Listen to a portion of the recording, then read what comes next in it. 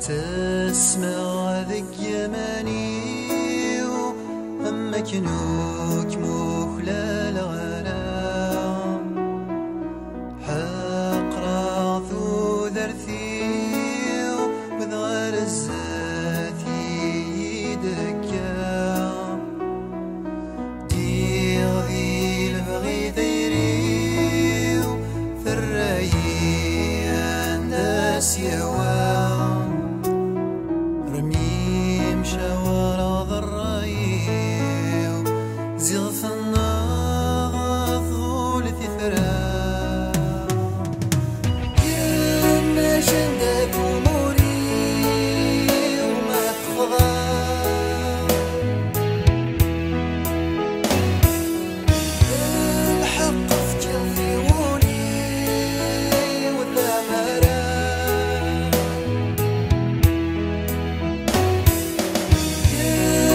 جنات أموري وما الخضار